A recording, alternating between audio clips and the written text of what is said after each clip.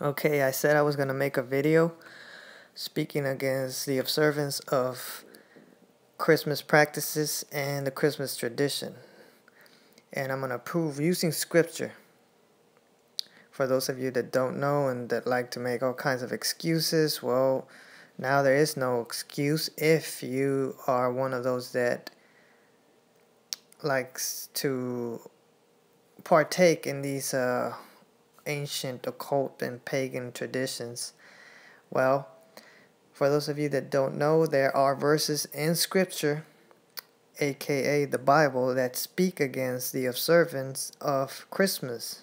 Not only the practices, but this whole tradition that's been handed down from generation to generation. Okay, so I'm going to begin with Jeremiah chapter 10 and I'm going to read the first five verses. Again, this is not my opinion. This is right from Scripture to prove without a shadow of a doubt that it is prohibited. And I'm going to explain why. Okay. Jeremiah chapter 10 and verse 1 says, Listen to the message that the Most High has spoken to you, nation of Israel. Verse 2 This is what the Most High says. Do not learn the practices of the nations.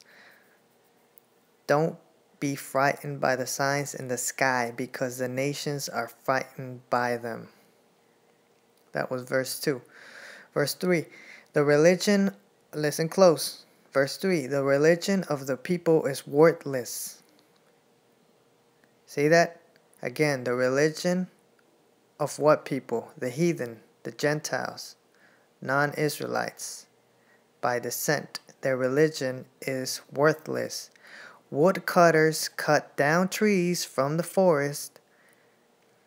The hands of craftsmen prepare them with axes. Now, doesn't that sound like what a woodcutter would do to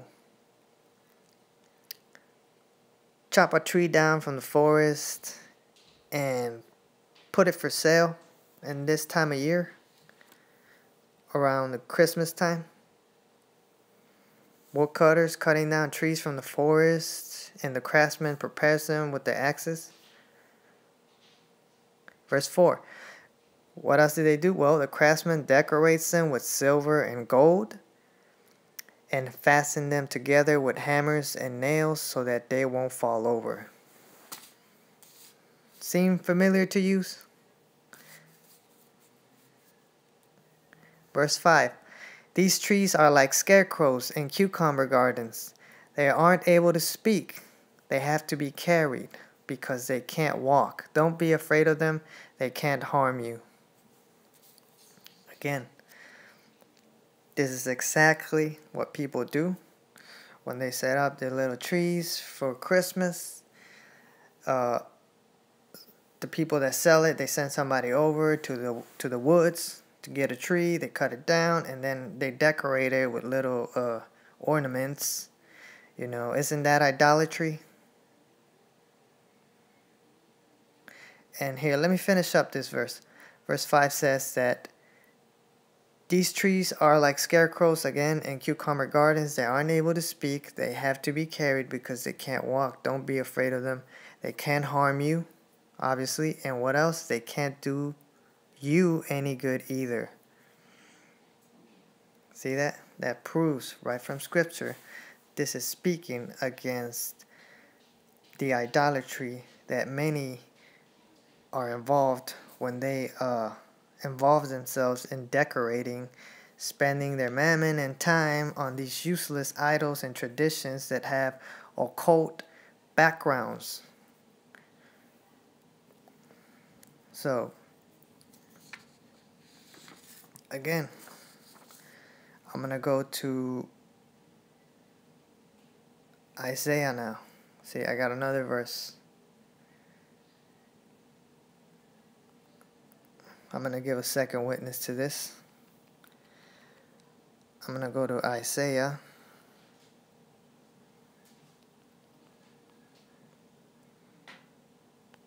Isaiah chapter 44 and verse 19.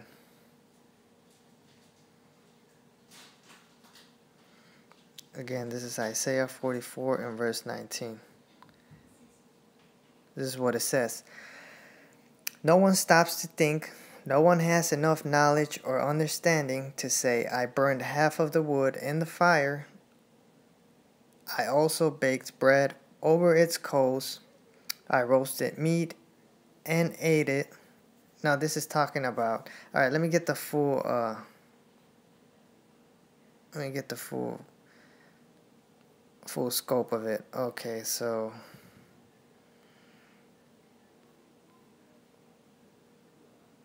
Okay, here it is. Beginning this is Isaiah chapter 44 beginning with verse 14. Just to give you a quick background on what it's talking about. See that verse 14 says that they individuals cut down cedars for themselves and they choose fir trees or oaks. See that? It's, is talking about trees how they uh, individuals uh, acquire these trees, these oaks. They let them grow strong among the trees in the forest. They plant cedars, and the rain makes them grow. Verse 15 says that these trees become fuel for people to burn. Isn't that what they do in uh, wintertime? Now this is I'm this I'm not gonna speak against it because this is what people do, you know, to burn wood. They use the tree, they chop it, they, you know, it, they put it to use, right? They don't have it just sitting there idle looking pretty, you know. They they make uh chop the wood, chop the tree, make wood out of it, and they use it to you know burn fuel, whatever they may need it for, you know. It says that they uh they use it for fuel to burn, whether to warm themselves, to cook something. So they take some of them and warm themselves with them, as it says right here. They start fires and bake bread. You see that to cook something to eat. It says here that they also make gods from these trees and worship them. Isn't that what they do in Christmas time? They decorate it, they invest all this time. Again, I've just made a few videos about uh, idolatry. Now, I'm talking to the whole world here. Whoever runs into this video, you've been warned. You are not to observe these practices. It says that they they make they make them into carved statues and bow in front of them. Isn't that what you do when you bow before the tree? Half of the wood they burn in the fire. Over this half they roast meat that they can eat until they are full. They also warm themselves and say, Ah, we are warm. We can see the fire. Okay, that's understandable. You, you put it to good use. That's fine. No problem there. Verse 17. But the rest of the wood they make into gods, carved statues. Okay, maybe not to that extreme extent, but well, you'll see where this is going. Okay, so they bow down to them and worship them. They pray to them, saying, Rescue us because you are our gods. Okay, obviously they don't do that, but keep going. Remember, keep the subject and object. The subject is we're talking about trees and how even some of that wood was used to carve images. So, okay, it says that they don't, they, do, it says, verse 18 says, they don't know or understand anything. Their eyes are plastered shut so they can't see, and their minds are closed so they can't understand. Here's the verse I was looking for, verse 19. I'm going to highlight it. I just wanted to backtrack so you guys don't think uh, I'm taking this out of context or making out of it, you know, because I want to show without a shadow of a doubt. This is the second witness, Isaiah. We just read Jeremiah speaking against this. Verse 19, let's read what it says. No one stops to think, no one has enough knowledge or understanding to say, Okay, I burned half of the wood in the fire. I also baked bread over its coals. I roasted meat and ate it. Now I am making the rest of the wood into a disgusting thing and bowing to a block of wood? Isn't that what they do? And okay, let me let me get another translation. I like I like the amplified version. Let's just get that translation, you know, because I want to make sure I hit them hard with this, and you know, people ain't gonna have no excuses. You know, I know there are a lot of people out there that you know they'd rather hear a soft word, but you know, I'm gonna give it to you raw. You know, there's okay, so all right, here we go, verse 19. Again, as I just read, and no one considers in their mind, nor has knowledge and understanding enough to say to himself, I burned part of this log in the fire, and also I have baked bread on its coals, and have roasted meat and eaten it, and shall I make the remainder of it into an abomination?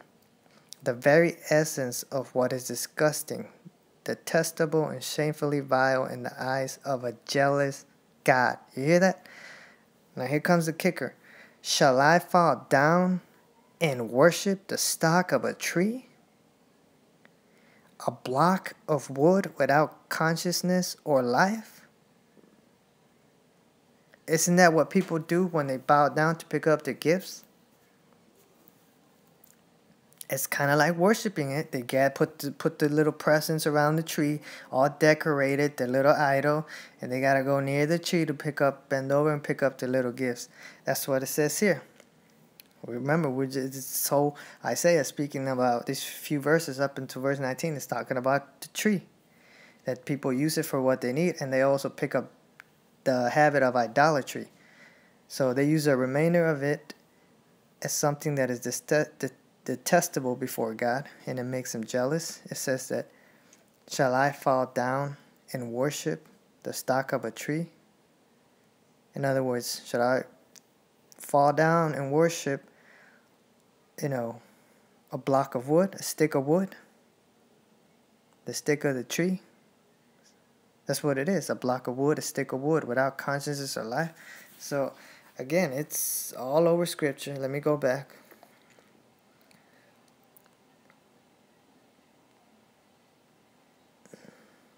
You know, because I, I, I see way too many brothers and sisters making excuses. And, you know, I'm, I'm to tell it to, I'm to give it to them raw. I know, you know, it doesn't sound nice, but it's the truth, you know. And look, look what it says here in verse 8. People that do this, again, this is uh, Jeremiah chapter 10. And we just read these regarding the trees, right? How, how they decorate them. It's describing the, the Christmas trees. These trees are like scarecrows and cucumber gardens, aren't it? Blah blah blah. Go to go to verse eight. It says, "They are complete idiots. They learn nonsense from wooden idols." Man, if that's not a slap in the face to wake you up, I don't know what is. Because here's the thing I see many compromise with these uh, occult traditions, you know. These uh, many so called Christ followers, you know, even the most learned ones, you know, they, they know all these kinds of knowledge in regards to scripture, all these kinds of secrets in scripture. That's all fine and dandy. But what good is uh, wisdom and knowledge without obedience, right? What what good is it for me to know all this stuff and yet still go in there and and uh, break uh, the commandments? Nothing. Wisdom without action.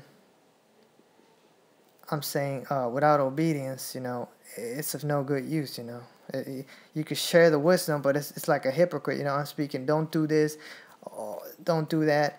But yet, whether it's a greater sin or a, or a minor sin, it doesn't matter. Sin is sin. You know that I would be a hypocrite to tell you, oh, you're a sinner, this and that. Yet I'm over here uh, uh, with my family or whatever involved in these uh, Christmas uh, uh, traditions. You know, just for once, uh, I don't observe this. You know, my family would like to observe this unholy tradition, but unfortunately, they don't like to invest in it, and thus they're left wanting. But to me, that's wonderful because by them not being able to you know indulge in these things it it, it uh it makes it easier for me and uh you know easier on the eye not looking around knowing that we got all kinds of christmas junk going on all around. No because my my house is empty right now. I, we don't observe it like that. They do my my uh family but you know they they don't get all this stuff. They don't get all crazy they just keep it like any regular day. If i'm gonna give you something you know that's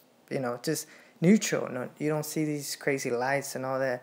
No, none of that garbage invested in, in the observance of Christmas. No, you don't need one day out of the whole year just to to you know figure out that you need to give something. You know, and, then you give to each other, which probably aren't even in need.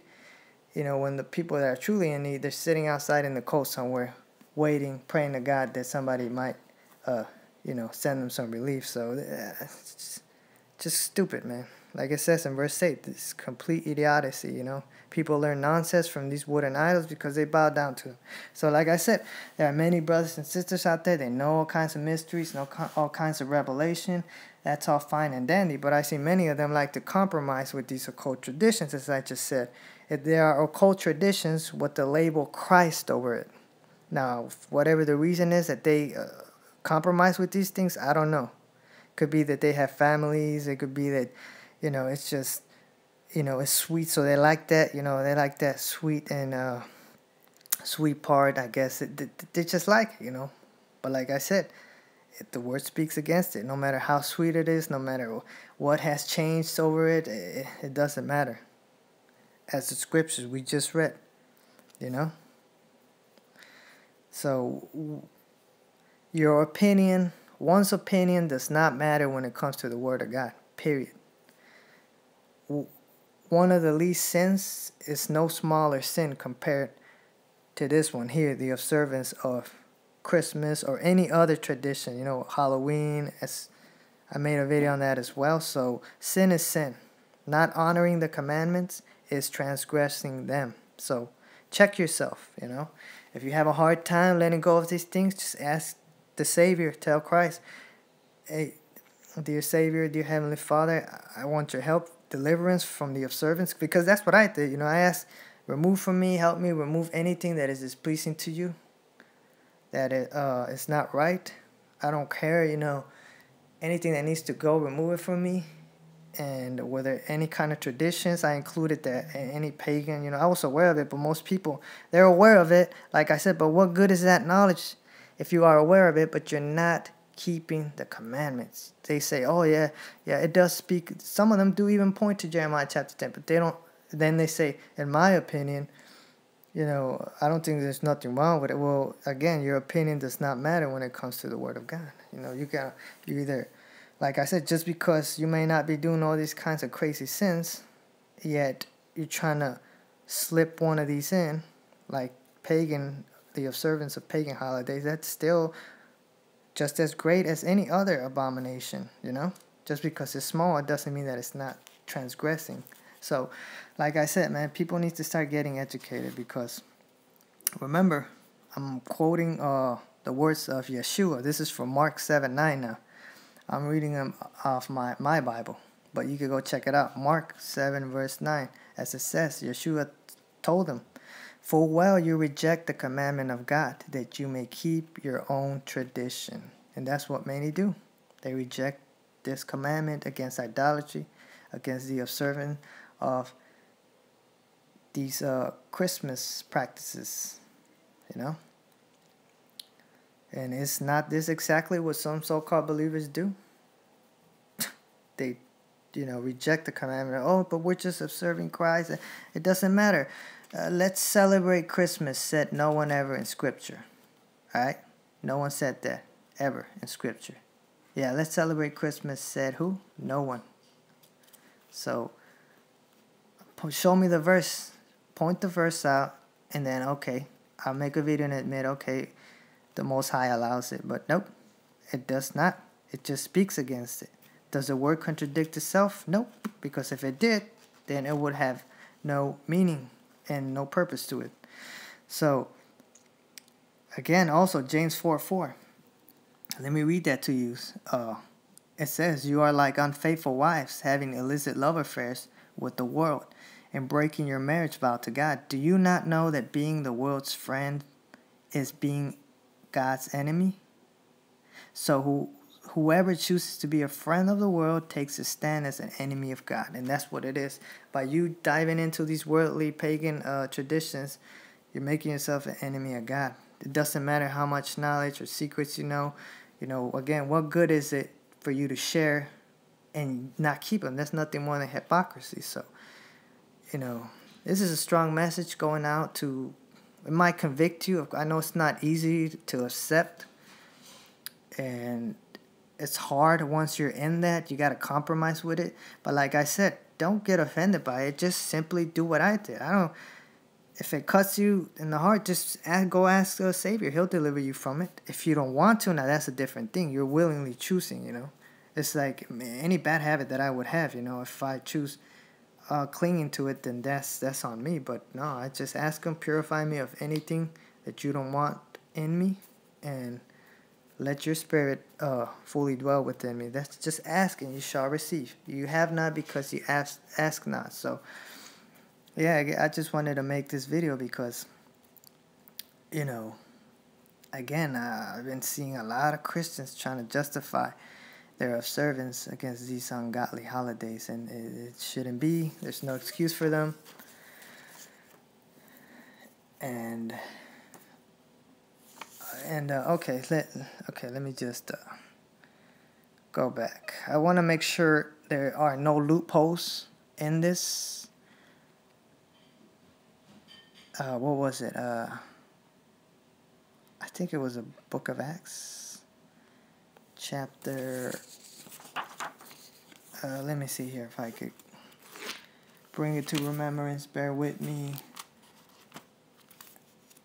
I think oh it was Colossians. I'm sorry, Colossians. Yeah, because I had a little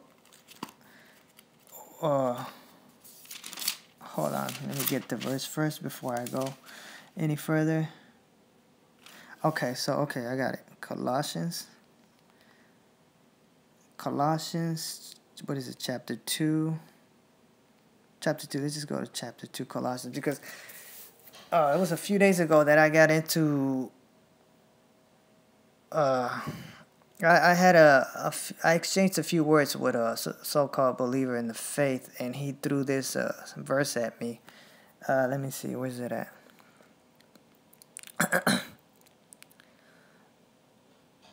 he threw verses uh, 16 and 17 at me. He said, to try to justify why they observe this holiday, it says, Colossians chapter 2 verse 16 and 17 it says, Therefore let no one judge you because of what you eat or drink or about the observance of annual holy days. Say that? Big difference. Holy days, not holidays, which are nothing more than days, uh, occult days with the Christian label over them. Sugar coated, candy coated. See that? Holy days. Let no one judge you because of what you eat or drink or about the observance of annual holidays, new moon festivals, new moon festivals, see that? Or weekly worship days. This is talking about God's festivals, not the world's festivals, not these the fallen ones festivals. Verse 17, these are a shadow of things to come, but the body that casts the shadow belongs to Christ.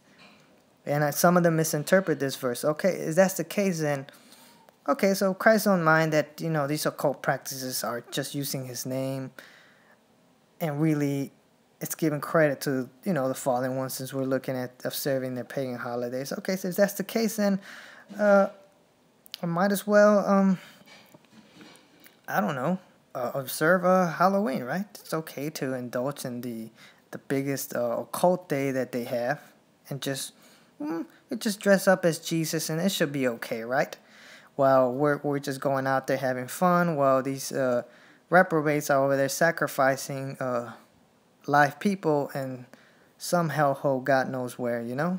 Is that okay? That's the same thing happens in these uh, supposed uh, Christmas day that has to do uh, with the birth of Christ, as they say.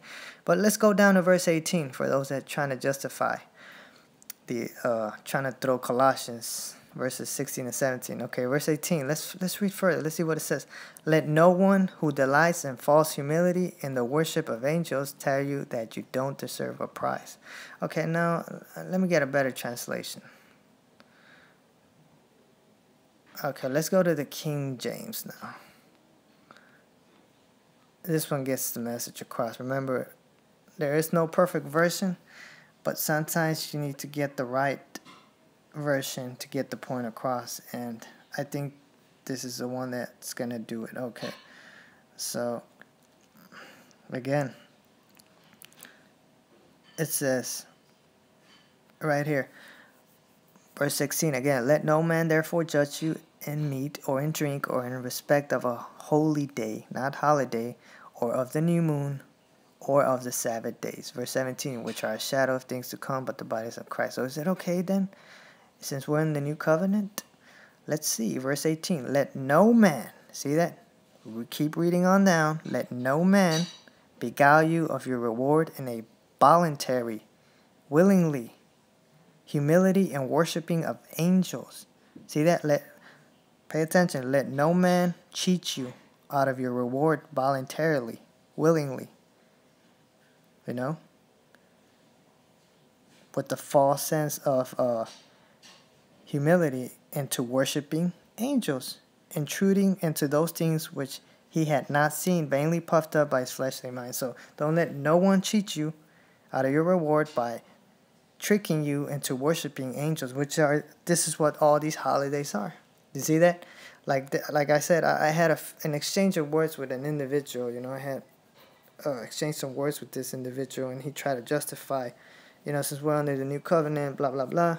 He threw these two verses, verses sixteen and seventeen from Second Colossians, and I threw him the verse that was be, uh, below verse 17. This one that says, Let no one beguile you of your reward in a voluntary humility and worshiping of angels. You see that? When you read a little further down, it just destroyed his whole defense. See that? Let no one. So, what is this talking about? Worshiping angels. We're not worshiping angels. Well, again, find out where you get all these uh, origins of Christmas. Where do they come from? I mean, Jeremiah, we just read Jeremiah was speaking against it, right? The observance of the Christmas tree and all that decorating and all that crap. Isaiah too, you know? So, again, you have two witnesses, and Colossians is another witness, but people think that it's okay to observe any holiday. No, holy day. Read that. Holy day. New moon. Sabbath days not pagan days, alright? So, on that note, I'm not going to ramble. I just wanted, I'm fired up because there's too many Christians out there that are really well learned, know a lot of stuff. But when it comes to the little things, I'm noticing they, they, they're leaning towards the sweet stuff. And no, we, we got to take a stand, you know? We got to uplift each other worship we worship the Father in spirit and in truth. You know, uh, our actions speak louder than our words, and let it be thus. Shalom.